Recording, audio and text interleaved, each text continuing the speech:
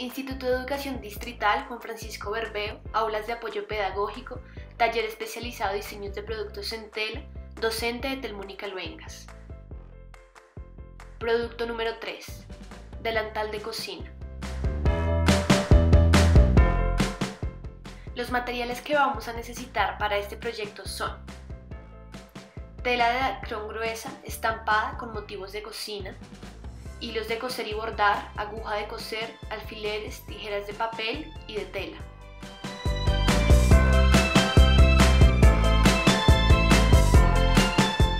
Paso número 1. Lo primero que vamos a hacer es cisnar los moldes en cartulina y cortarlos. Como podemos ver en esta imagen, en uno solo que será el cuerpo del delantal vamos a marcarlo tal y como dice el molde. Una vez en tela y tela doble son los títulos que debes copiar exactamente en el mismo lugar que en el molde que vimos en la imagen. Ahora para el paso 2, vamos a pasar el molde a tela y recortarlo. Este paso debe ser cuidadoso, así que escucha con atención. Bueno, ahora para copiar el molde en la tela se tiene que extender la tela en una superficie un poquito más grande como una mesa y se va a doblar esa tela, no toda, sino se va midiendo que tiene que doblar teniendo presente el molde que acaba de copiar y que ese molde eh, cuando se coloque sobre la tela específicamente tenga un espacio suficiente para poder ser eh, trabajado. Mira, aquí me queda corto, ¿se dan cuenta? Mire, entonces quiere decir que tengo que doblar un poco más la tela para poder eh, poner el molde sobre ella. Una vez que ya tienes la tela doblada, se coloca el molde para cisnarlo en la tela.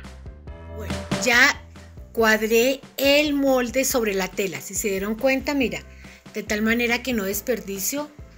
Y donde dice tela doble, muy importante eso, es donde está el doblez de la tela, mírenlo está el doblez de la tela porque este es la mitad del molde de nuestro delantal.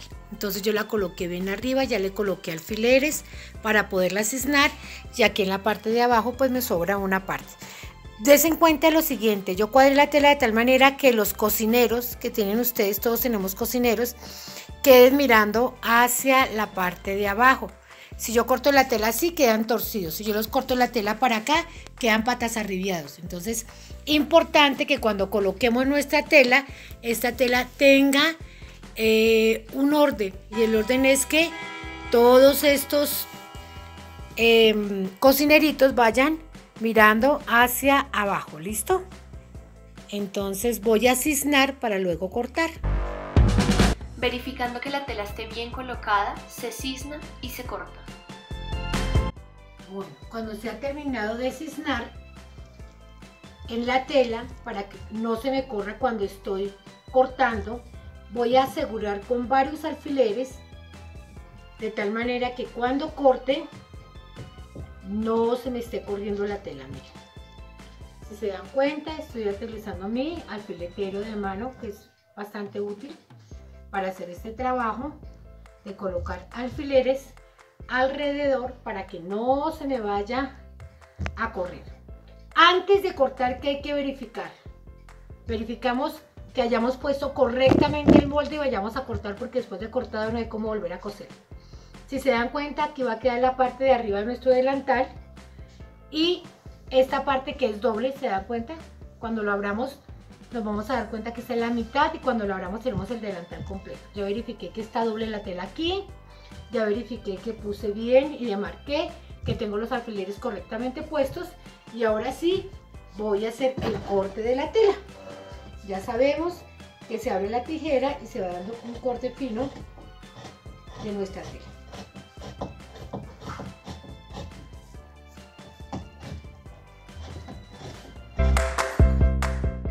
Queda el delantal al cortar. Recuerda que está doblado en la mitad.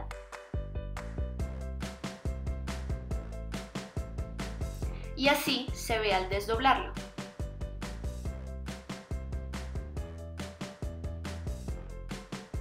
Ya que tenemos eso listo, vamos a recortar las tres tiras como dice en el molde.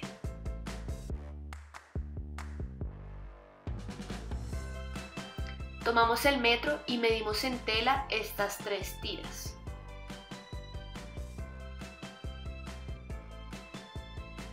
Recuerda, son dos tiras de 70 centímetros por 10 centímetros y una de 60 centímetros por 10 centímetros. Es importante que no desperdicies tela porque la vamos a necesitar más adelante. Primero hacemos las dos tiras más largas.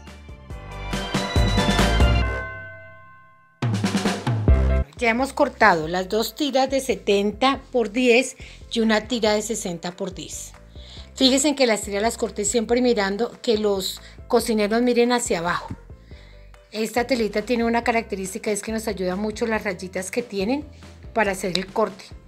Entonces siempre cortemos de la esquina, como les dije, hacia el centro, de tal manera que no desperdicemos tela. Doblamos la tela que sobró. Después de tener todo cortado, seguimos ahora con el paso 3. Vamos a coser el cuerpo del delantal y las tiras. Comenzamos con el cuerpo del delantal primero. Bueno, cuando ya hemos cortado todo nuestro delantal, vamos a hacer un doblez a todo alrededor de este delantal. ¿Cómo hacemos el doblez? Por eso necesitamos alfileres. Cogemos y se dan cuenta que esto tiene cuadritos y rayitas. Esto nos van a servir de guía esas rayitas y estos cuadritos. Entonces yo voy volteando por el revés y cuento dos cuadritos, mira, uno y dos que son los que voy a doblar. Doblo primero un cuadrito y luego doblo el otro cuadrito. Entonces voy colocando alfileres cuando realice estos dos dobleces. Vuelvo y lo repito como es, mira. Voy doblando un cuadrito y luego volteo ese cuadrito para que, que acabo de doblar y le voy colocando el alfiler. Listo, continúo cojo un cuadrito, lo meto y volteo el otro cuadrito y voy colocando el alfiler a todo alrededor de esta costura que estoy haciendo. Sigo acá, doblo un cuadrito, mira, y luego ese cuadrito vuelvo y lo doblo, aquí ya son dos cuadritos y coloco los alfileres todos alrededor. Vamos a necesitar varios alfileres, sí, porque no es una...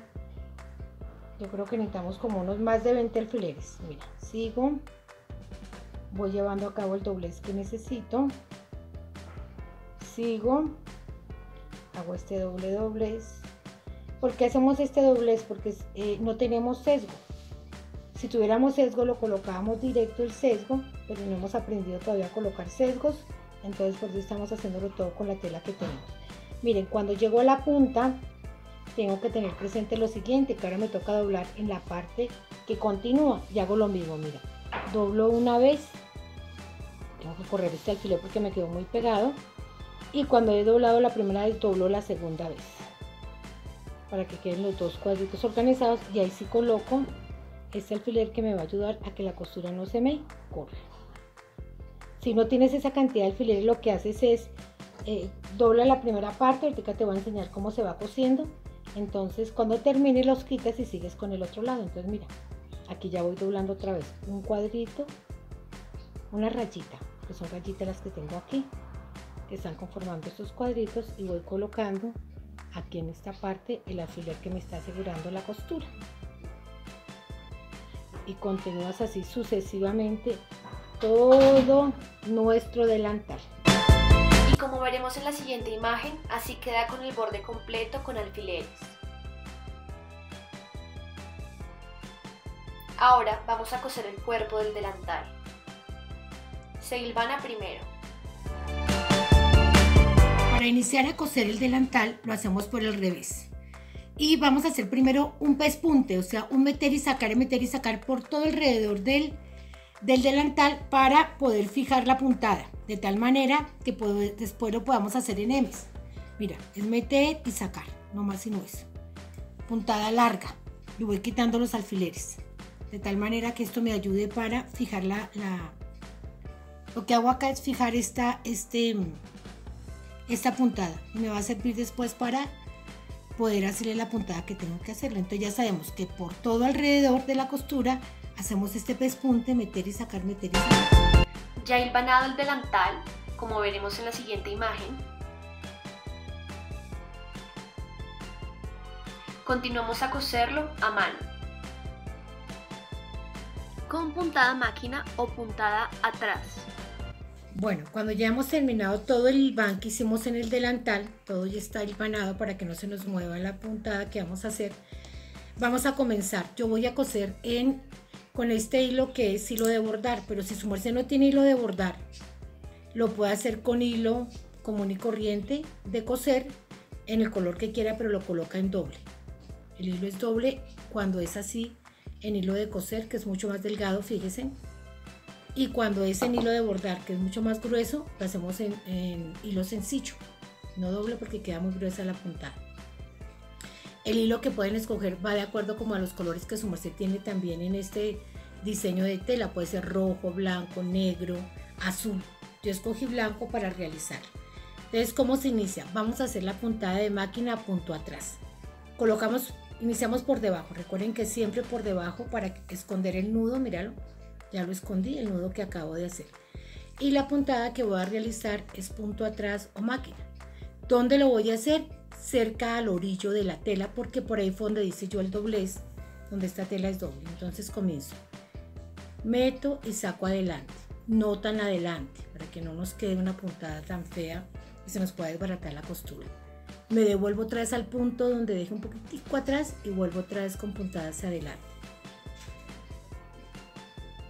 Punto atrás o máquina. Si su merced tiene máquina de coser, ¿qué haría? Pues con la máquina de coser pasaría todo alrededor de tu delantal en esta puntada. Mire, por detrás, por delante va quedando, por este lado del revés, este revés de la costura va quedando de esta manera y por este lado va quedando un punto seguido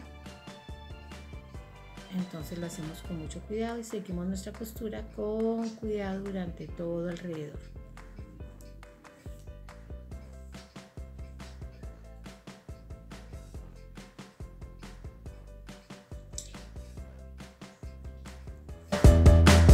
Ya cosido el delantal, se quita el hilván. Bueno, ya terminada toda la costura, voy a comenzar a quitar el hilván. ¿Se acuerdan el hilo rojo que yo había colocado para poder, eh, para que la costura no se me corriera. Entonces mira, comienzo a quitar el alpan. Yo lo quito con la parte de atrás de la aguja que me puede llegar a servir. Si su merced tiene desbaratador también lo puede hacer, mira. Entonces yo lo hago acá y voy retirando todo el silván que ya no voy a necesitar. Ahora se cosen las tiras. Ahora comenzamos a trabajar las tiras que teníamos, ¿se acuerdan que eran tres? Dos tiras de 70 por 10 centímetros y una tira de 60 por 10 centímetros. Las tres se le hace exactamente lo mismo. Se doblan por el lado del revés. Cuando lo hayas doblado por el lado del revés, comienzas a colocar esos alfileres, lo mismo, para que la costura no se nos vaya a correr. Y vamos colocando distanciados los alfileres porque vamos a coser por el orillo esta tela. Vamos a hacer lo que se llama un entalegado. Cosemos por el revés Luego volteamos la costura y nos van a quedar las tiras que vamos a utilizar. Dos tiras son para la cintura y una tira es para la parte de la cabeza de nuestro delantal. Entonces yo coloco los alfileres para que no se me corra la costura y comienzo. ¿Con qué puntada? Tú lo eliges. Yo la voy a hacer con puntada máquina o punto atrás. Su merced la puede hacer también en M's o festón, depende de la que se te facilite. Entonces comenzamos nuestra costura, mire, sellando una de las partes más angostas, sellamos acá y vamos a coserla toda, toda, toda, toda alrededor, dejando este último huequito abierto porque por aquí vamos a devolver la costura. Entonces comenzamos toda nuestra parte de la costura de nuestras tiras. Ahora se devuelve al derecho la costura como veremos en la siguiente imagen.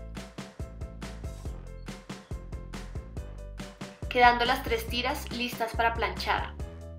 Y finalmente se cose el borde que quedó abierto. Cuando ya se tienen las tres tiras cosidas, ahora hay que aplancharlas. ¿Para qué? Para que eh, la costura quede mejor terminada y sepamos por dónde tenemos que coser. Entonces su se coge cada uno de esos tres tubitos que acabas de hacer que van a ser las tiras, lo doblas por el lado donde está la costura, donde la terminaste y comienzas a a plancharlo para eh, que de esta manera podamos saber cuál es el largo de la tira y podamos también comenzar a coserlas a nuestro cuerpo del delantal. Entonces, eh, esta es una planchada con cuidado, mirando que la costura siempre quede bien doblada, o sea, quede en uno de los lados.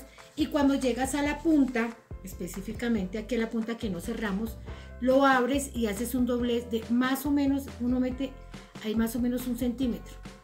Cuando ha metido ese centímetro, le pasas nuevamente la plancha por encima para que quede marcado y por ahí vas a coser con la misma puntada M o con una puntada em, de máquina o punto atrás. Entonces, una, dos, mire, esta también ya está cerrada y esta ya la voy a, planchar para meterle su centímetro y poder continuar con la terminación de nuestro delantal. Seguimos con el paso 4. Ahora vamos a coser las tiras al delantal, a la pechera y a los lados. Recuerda, la tira más corta de 60 por 10 centímetros va en la pechera, se cose en la parte de arriba en la esquina de cada lado.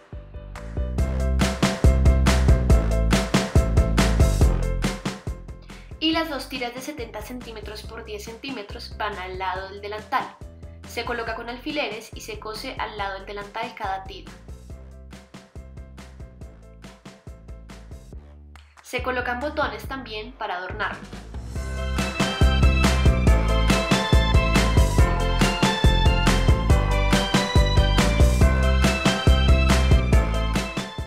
Y por último, paso 5. Ya tienes terminado tu producto. Así queda tu delantal.